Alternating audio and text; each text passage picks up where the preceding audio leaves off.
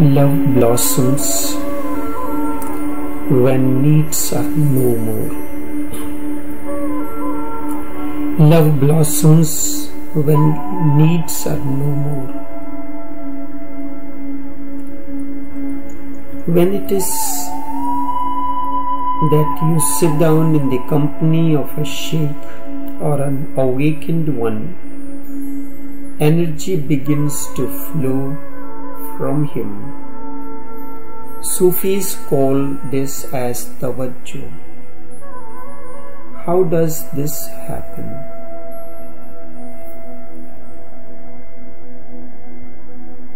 We have to go into one of the ancient most sutras or the techniques of one of the scientists of the inner. He is a mathematical scientist of the inner. If you follow his methods as it is, you are certainly going to attain to that. He is Kashmiri by origin.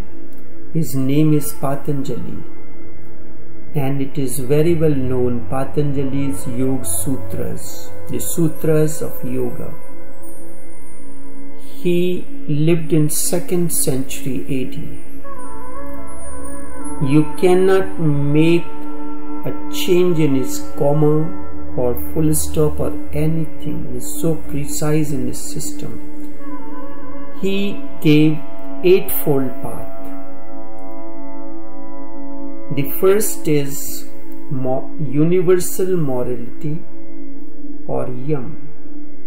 These are the principles which each one of us needs to inculcate in us. When these principles, simple principles, becomes ritual, then it gets into problems. So first is yam or universal morality Second is niyam or the personal observance. These can be looked as two important aspects to bring discipline in us. These are the universal morality and personal observation are the suggestions given in how one should deal with the people around us and our attitude towards ourselves. You know very well that your hands, eyes, legs, ears, nose are part of one synergistic harmony that is known by this particular name. Your left hand is not separate from the right hand your left hand, if it gets into pain, the whole body feels it. You do not say that left hand does not belong to us or the right hand condemns the left hand. This is how we deal with our body as a whole, organic existence. In the same way, in existence, everything is connected to one another through a cosmic bond. We are all made out of the same stuff. The plants, the rivers, whatsoever is there, sentient or insentient. Do we feel this kind of affinity with the other? we do not feel that. Universal morality and personal observation refers how one should deal with people around us and our attitude towards ourselves. We are bound to each other by a causeless force. It is the life force within you that connects all the organs into one organic harmony.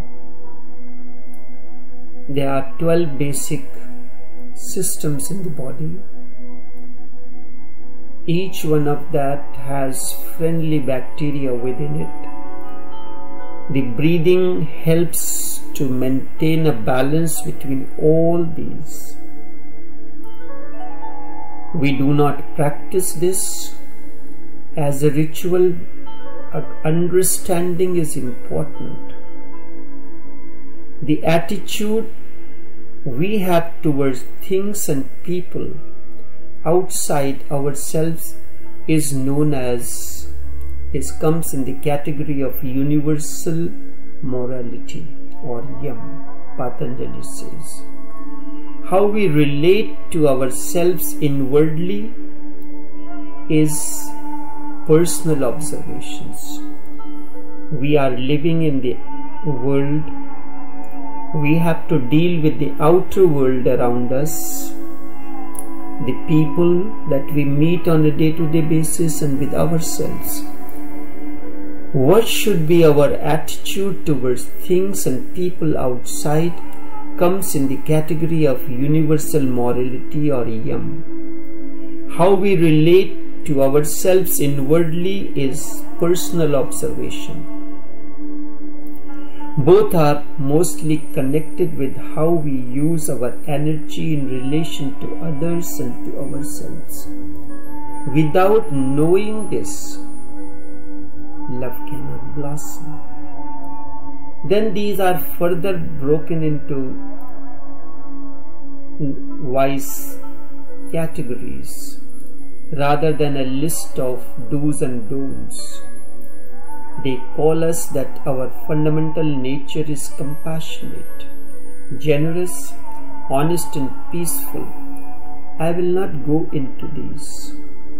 Then the third comes asanas or body postures. These are important and these help us in many ways.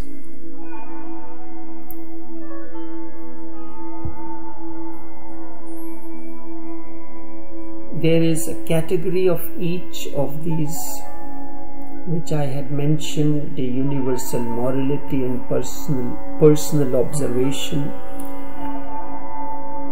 There are different aspects of it which I will go at another time when we are speaking on Patanjali Yoga Sutras.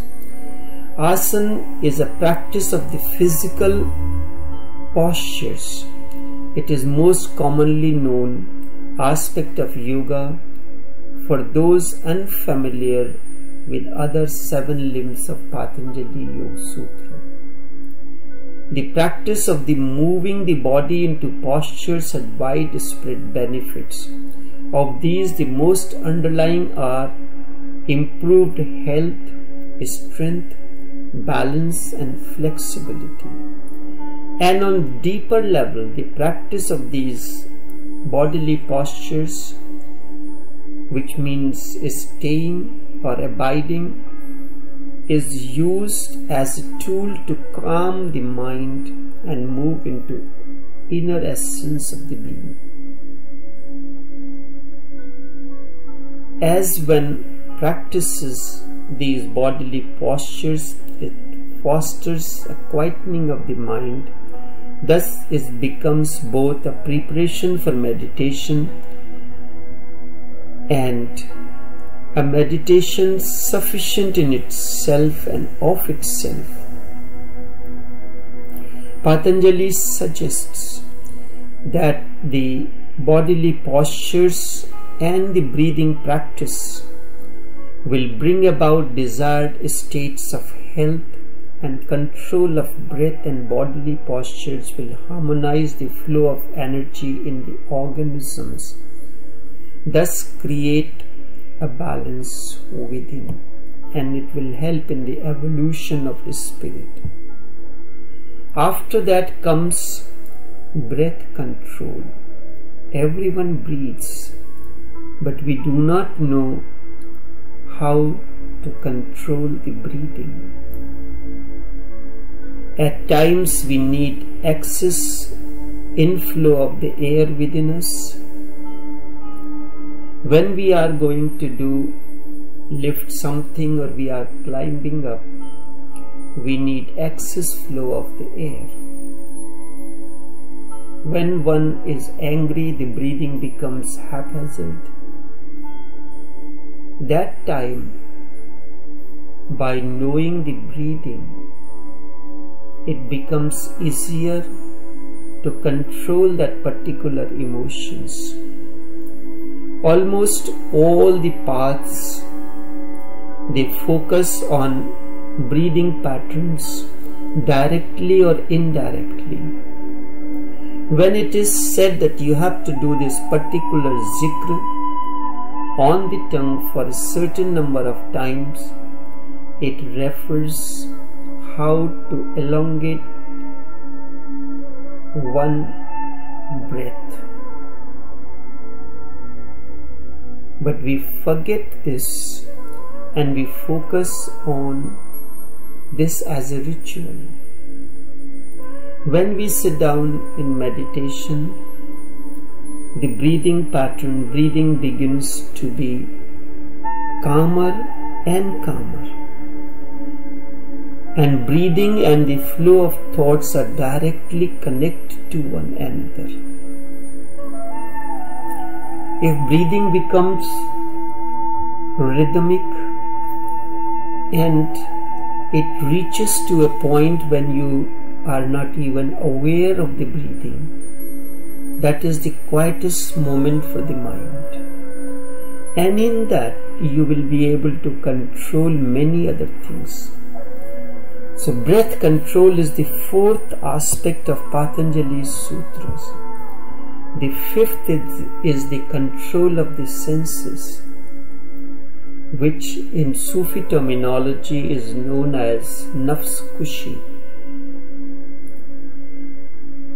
through these methods, if we go systematically rather than jump on the control of the senses, it becomes difficult. As a natural process, when we understand the universal morality, we understand the personal observations, how we have to deal with us within and how we have to deal outwardly with the objects and beings. The first two. The third, the bodily postures, disciplines us. Then, breath control, understanding the breathing patterns. Then, the control of the senses becomes natural.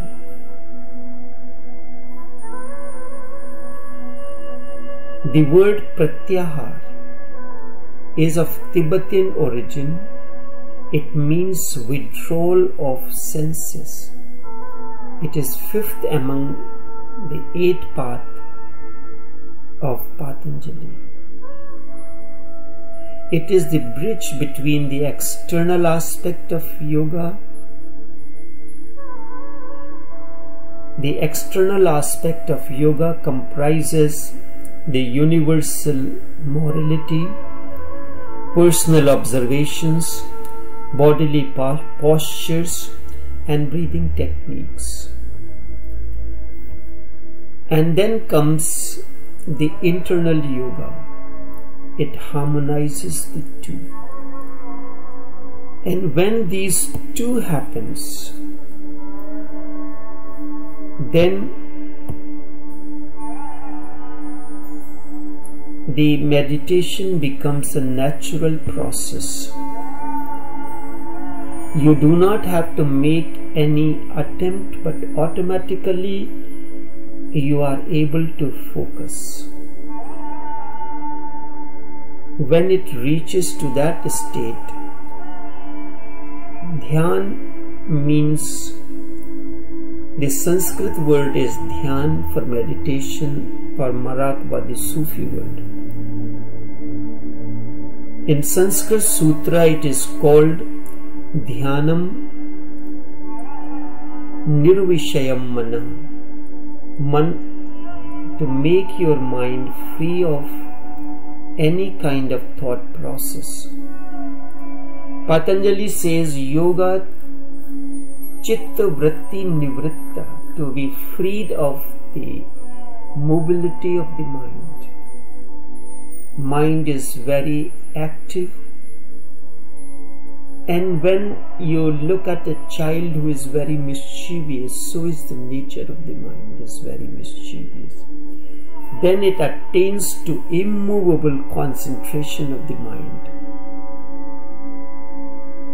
And when you focus this attention in one direction, when body has been tempered by yoga postures, when mind has been refined by the fire of breath, when senses have been brought under control through pratyahar, the withdrawal of the senses, then the sixth stage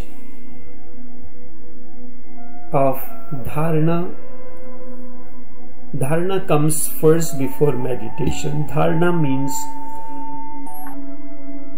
the sixth is dharana, which is known as immovable concentration of the mind. When mind is not wavering, it is focused on one thing. Normally, what happens? Mind continues to waver in so many other directions like a mischievous child. Cannot sit down or stay in one position fixed. This is important aspect and when this happens, then meditation becomes natural. So, first of all, in the process of tawajjuh, the master knows that we are part of one synergistic harmony. You are not separate from me. Your caste, creed, religious beliefs, nothing matters to me. I have nothing to do with your color, with your caste, with your religious beliefs because spirituality, the way of meditation is far beyond all these things. This is the outer experience that whosoever I meet, the Master meets, irrespective of anything, he understands that we are made out of one stuff nur, light, consciousness, and consciousness has no form, no color, no religious belief, nothing of its own. Then inner observations. If while giving instructions or teaching, if the person is involved in his own nafs, he will not be of any benefit to you. Then his energies are focused or wavers in the sense wanderings in the objects and beings.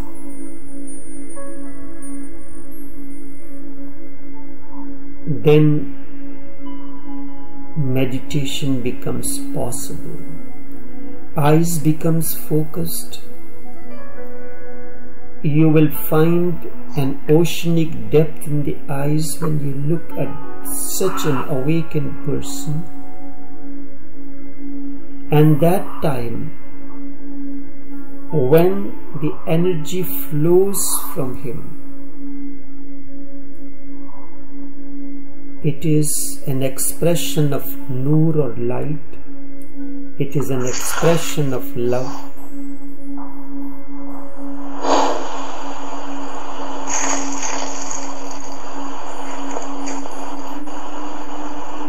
It is important to keep the microphones mute during the session so no feedback can come from any side.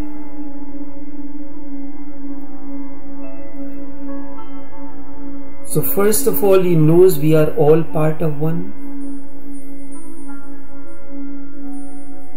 irrespective of our religious, political, social, cultural, or any other belief system is concerned. I am only concerned with your inner development. Then there is a personal, he is not involved in his own nafs. There is one thought of the developments, development of growth of consciousness, transformation of consciousness. There is no sense wanderings. Then the energy begins to reach the Kalva Mudavari, the third eye center. From there, it moves to the eyes and this is what you would have observed when, as lover and beloved, we begin to court with one another. Naturally, we look into the eyes of one another. How do we forget this? Naturally, we do. We look into the eyes of our beloved, of our spouse, and try to find an inner depth and try to drown in that ocean of death. And later on, we forget this. In order to bring a greater harmony between couples, sitting face to face with one another, we revert back the process of looking deep into the eyes of the other. You can do this by looking into your own eyes, by standing or sitting in front of the mirror, you are discovering your own inner depths. These are the two simple techniques of meditation. When you are not plagued with needs, wants, desires, and demands of your own, the, these are not mushrooming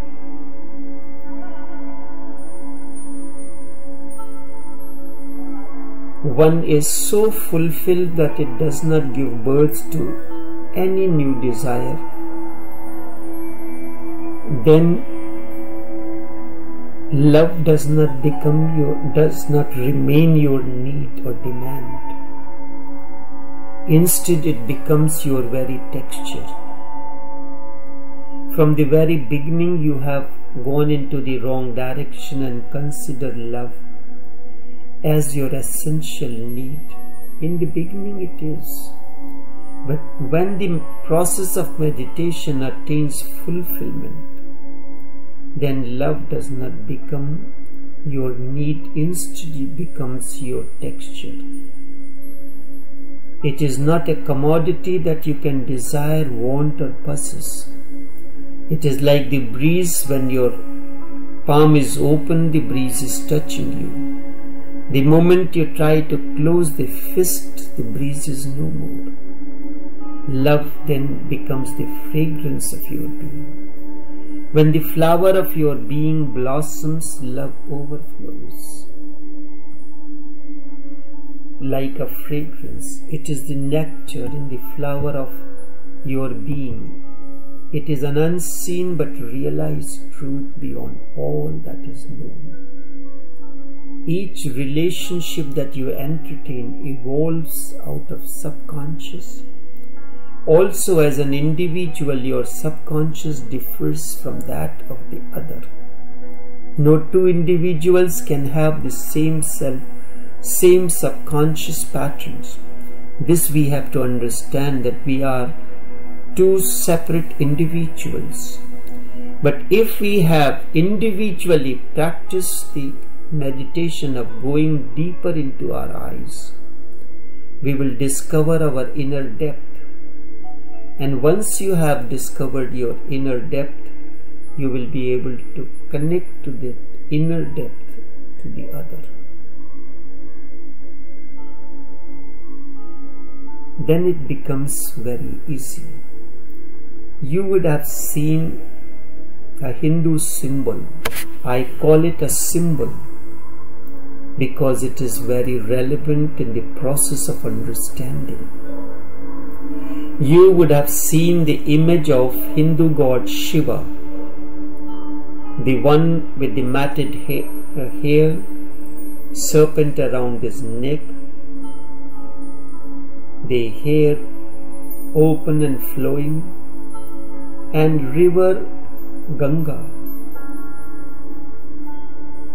flowing from the feet of Vishnu and comes to his gets entangled in his hair locks. Now, this is a symbol of religion, of Hinduism, but it has a greater meaning for all of us. If we take into account Ganga is a flow. Knowledge is a, is a flow. Awareness is a flow. Its force is so intense that it can madden you. That is why when Holy Prophet Hazrat Paighambar Sallallahu Alaihi Wasallam came from his meditation, he asked, Am I mad or what? Because the force is so intense that you are not able to absorb it. So Shiva's open hair lock symbolizes that capability that can absorb all that water that is flowing, all that knowledge is coming, that remains with Shiva one who is awakened, who is constantly in meditation. Holy Prophet used to meditate. He has attained to the highest state in meditation, and it is then that awareness, the message descended onto him. And then he slowly and slowly filtered onto us. Vedavyas did the same thing filtered that awareness that has come in the form of a great cyclone or rush, great force, which could have made a hole in the earth. It has so much capacity within.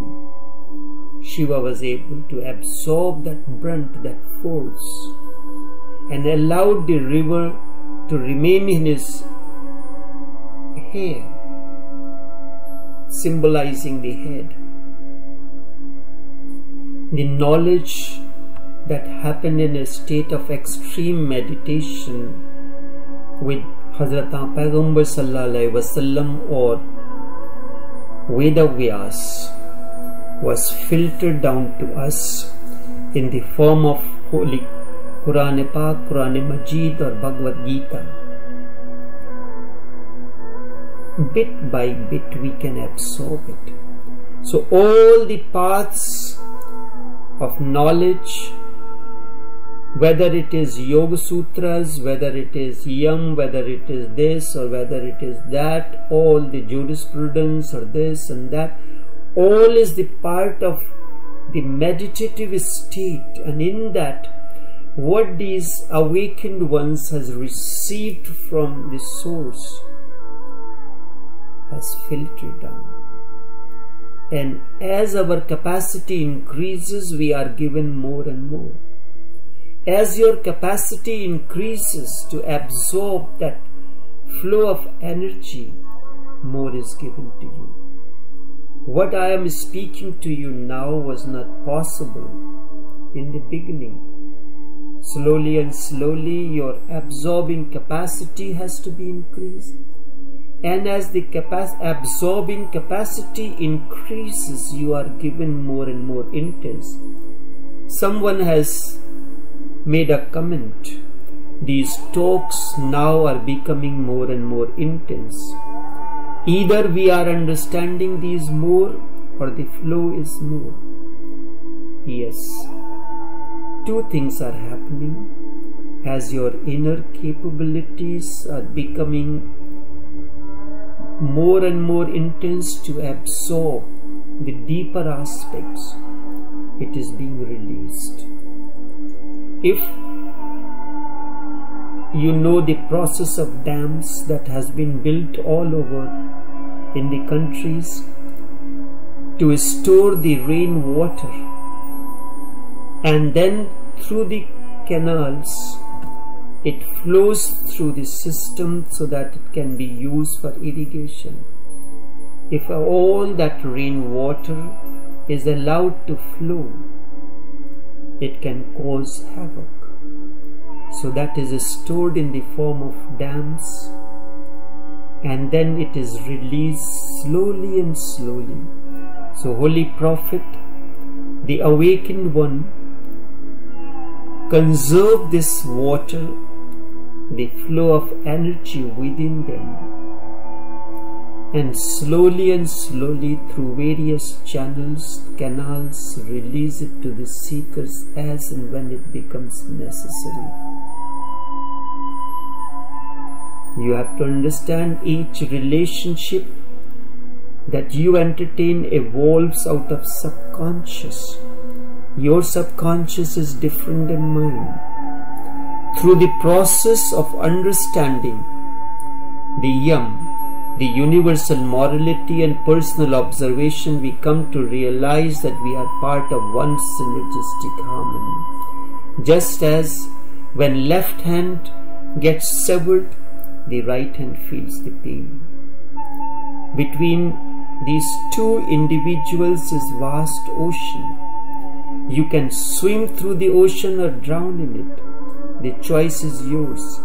This makes each unique and this gives rise to ego and makes the journey sometimes difficult as well. It requires tremendous understanding to move together in harmony with one another. Also, it requires an understanding that this togetherness has a purpose, and the purpose is the spiritual growth so that each can attain fruition.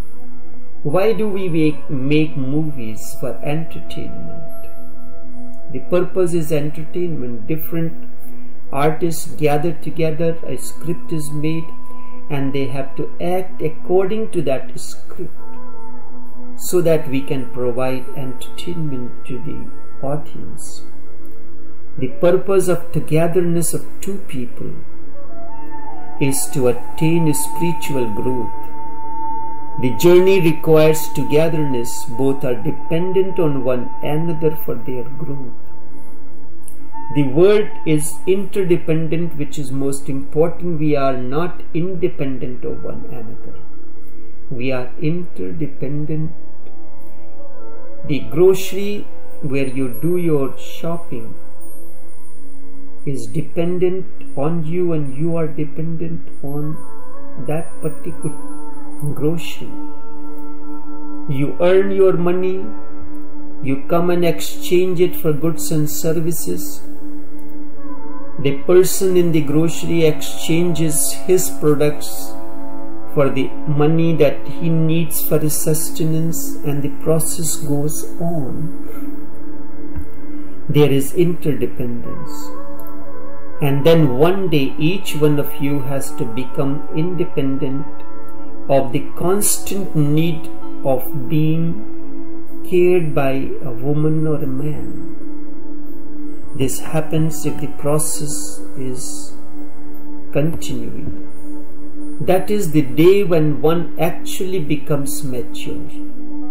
That is the day when you are finished with your mother that is the day you can start loving a woman or a man. Otherwise, in every woman you go on searching your mother, and in every man you go on searching for your father, which is not there. Then it is going to be a false love. It is going to be political because you need the care. You pretend to love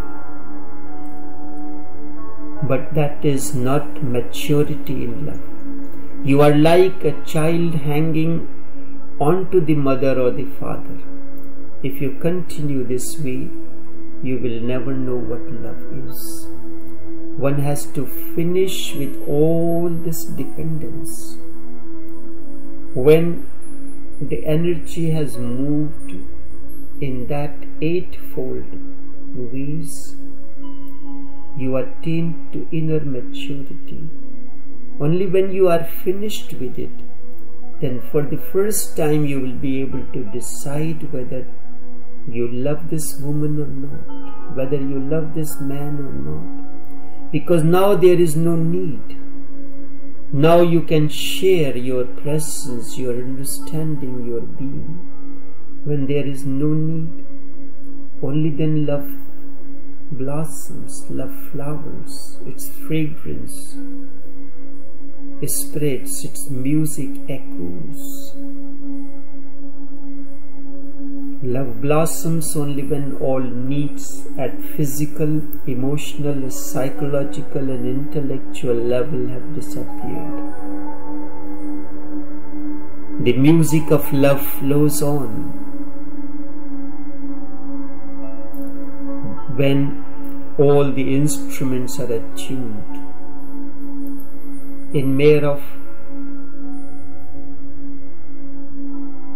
In Twelfth Night, William Shakespeare says, If music be the food of love, play on. Give me so much that there remains no more appetite. Love is the most luxurious thing in the world.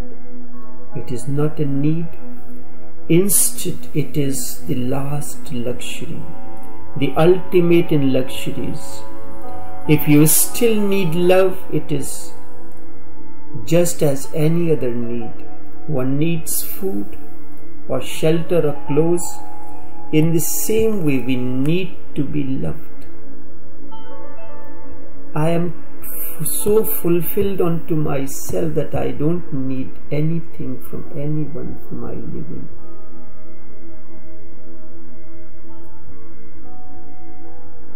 one needs this and that. Love also becomes a part of the world. If love is still your need, then it is part of the world. Love belongs to God. Jesus says God is love.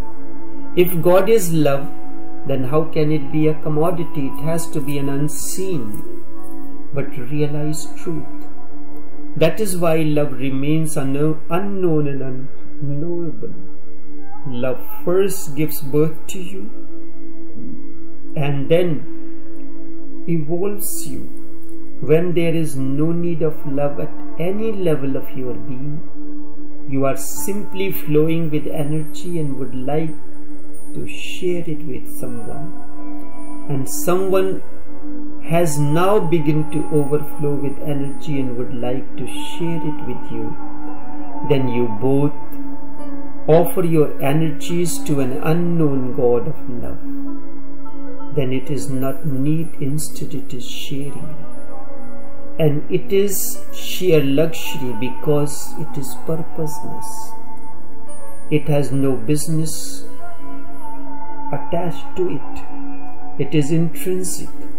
It is not a means to anything else. It is a greatest play. It is the merger of two overflowing energies, two overflowing river streams. Love is a state of your consciousness when you are joyous. When there is dance in your being, love blossoms. Everything starts vibrating and radiating from your center. Then something starts pulsating around you you start reaching people around you in a totally different way. You can reach women, you can reach men, so too you can reach the rocks, the plants, the rivers, the mountains, and you will find everything is shining. And this is the dance of ecstasy When I speak of love, this is what I am overflowing. Such love is not a relationship. How can I be related to you? How can my left hand be related to the right hand? But it is part of one harmony. Instead, it is a state of being. When I use the word love, it is a state of being because there is no other word as profound as love. I use it as a state of being, not as a relationship. Relationship is only a minor aspect of it, the visible one. But your idea of love is basically that of relationship, as if that is all. The nature of relationship goes on changing because it is the minor effect of the state of your being. Your being operates through various stages of consciousness, and any change in your state of consciousness will unfold different natures of relationship. I am speaking of love as it evolves when everything in all states dissolve into one another and nothing remains except oneness. Relationship is needed only because you cannot be alone. Consciousness is still muddled in that state. You have not known the cause of relationship, why I and you are together in this congregation. Because you are not yet capable of meditation, you cannot know why two persons have to enter into a relationship, into a male female relationship. Hence, meditation is a must before you can really love. One should be capable of being alone, utterly alone, and yet tremendously blissful. Without meditation, no understanding can dawn and without understanding relationship cannot attain to fruition. Then you can love. Then your love is no longer a need instead of sharing no longer a necessity. You will not become dependent on the people you love you will share and sharing is beautiful that is what i am doing here sharing my being, my presence, and my love with you beyond male female bondages. But what ordinarily, ordinarily happens in the world? You do not have love. The person you think you love has no love in his or her being either.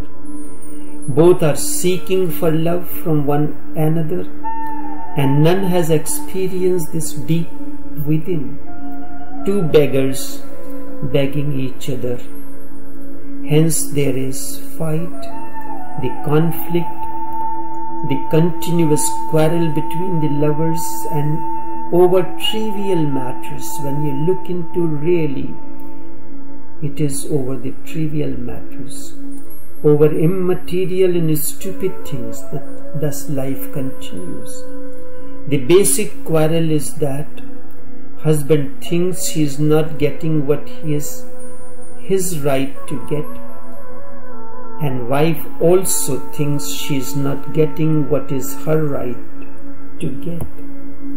You know, do not think that we are here to share. Wife thinks she has been deceived and betrayed too. The husband also thinks that he has been deceived where is the love then Nobody bothers to give. What to say of sharing? Everybody wants to get. And when everybody is seeking to get love, nobody gets it. And everybody feels at loss, empty, miserable, and tense. The basic foundation of love is missing. It is like making the temple without the foundation. It is going to fall and collapse any moment, and you know how many times your love has collapsed. And still you go on doing the same thing again and again without the foundation.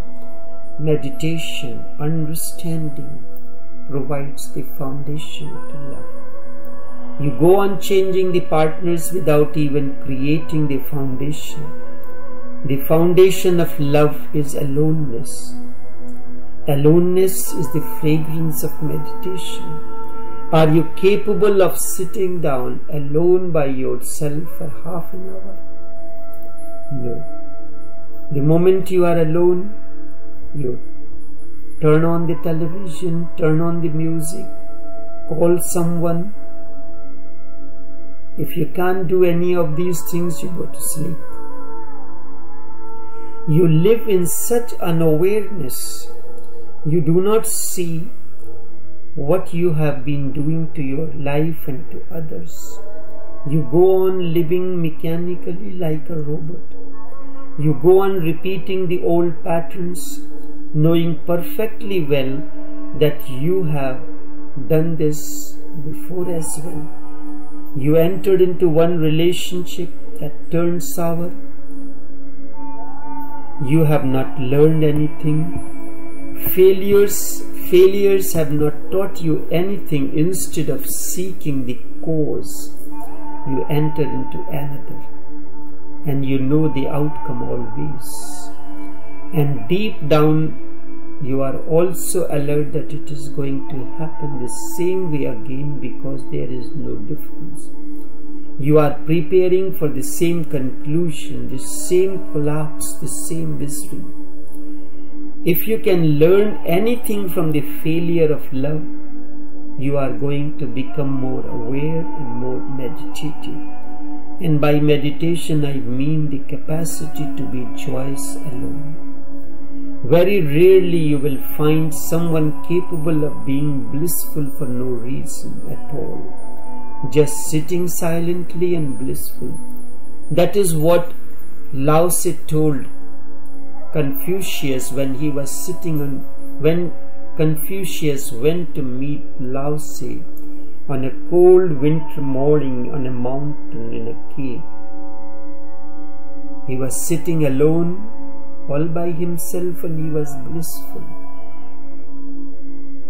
Have you you have heard it, you cherish it, you narrate it, but you never thought how could Lao Tse be on a cold winter morning on a mountain, a snow, a snowy mountain, sitting in a cave, all by himself and is happy, is joyous very rarely you will find someone capable of being blissful for no reasons. You meet a beautiful woman, you are happy, or you meet a beautiful man, you are happy. However, sitting silently in your room and being blissful is considered crazy or something else. It is considered that the person is crazy how could you be happy by yourself? Only mad people are happy by themselves. That is why spiritual people are mad when Holy Prophet asks, Am I mad or what? He has attained to that state that he was happy by himself. It is very, very rarely you will find a person who is blissful by himself. No TV, no phone, or no one is needed for his bliss, sitting by himself. Meditation is releasing your own psychedelic powers. It is releasing your own hidden splendor, and you become so joyous. A celebration arises in your being. You can express it in many ways. You need no relation still you can relate with people. And that alone is the difference between relating and relationship. Relationship is a commodity and it is a stationary. Relating is a process flowing like a river. You cling to relationship and remain stuck and miserable. But you, if you allow it to flow, there is a beauty. Relating is a flow, a movement, a process. You meet a person, you are overflowing because you have so much of love to give. The more you give, the more you have. Once you have understood this strange arithmetic of love, that the more you give, the more you have it, you will be blissful. This is just against the economic laws that operate in the outer world. Once you have known this, if you want to have more love, more joy, you have to learn to share. Then you simply share, and whatsoever and whosoever allows you to share your joy with him or her, you feel grateful to him or her. But this is not a relationship, it is a river that is flowing. The river flows and passes by many.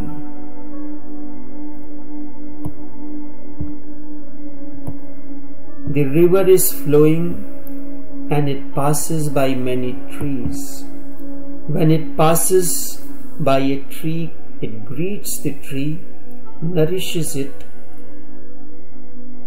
gives water, gives water to the tree, and the river moves on, dances on. It does not cling to a particular tree, and the tree does not hanker for the river. The tree never laments, Where are you going? We are married, we are together. And before you can leave me, you will need a divorce or at least a separation. Where are you going? And if you are going to leave me, then why did you dance so beautifully around me? Why did you nourish me in the first place? And the tree in return showers its flowers onto the river out of deep gratitude and then river moves on. The wind comes and dances around the tree and moves on. The tree fills the wind with its fragrance in return. The entire universe is sharing except man. And that is the tragedy. This is relating. If humanly this is relating if humanity is ever going to become grown up or mature. This will be the way of love. People meeting, sharing, moving in a non possessive manner, flowing like a river, or blowing and surging through the tree leaves, is indeed love that transcends all boundaries of finiteness. All boundaries of finiteness.